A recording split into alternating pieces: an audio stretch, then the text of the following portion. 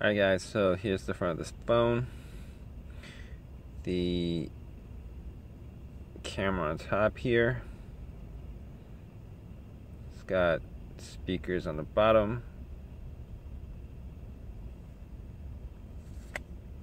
And this is the flip up keyboard.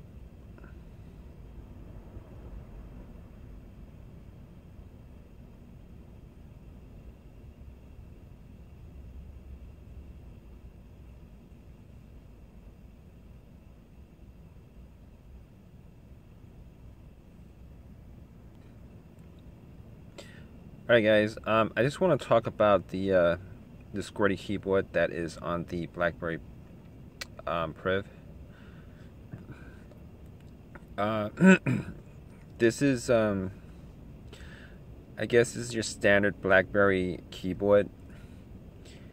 Um, normally I am a fan of QWERTY keyboards, but uh, I've had issues with this keyboard uh, every time I would use it, I would inadvertently hit a button on here by mistake.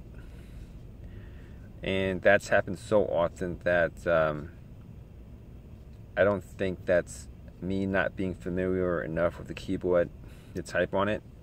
Uh, I've had this phone for about three to four weeks now, and um, for whatever reason, uh, it still happens. So I'm not I'm not really happy with this keyboard. Um, but um, I'm gonna keep on using it, and uh, we'll see how um, how it works in the future, whether I get used to it or not. But uh, my personal thought is keyboard is I think the keys are are either spaced too close together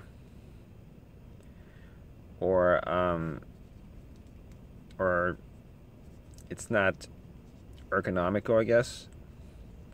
The way the um, the keyboard is is formulated on here,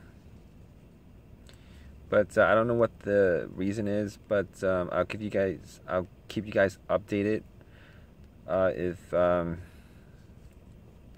if this keyboard um,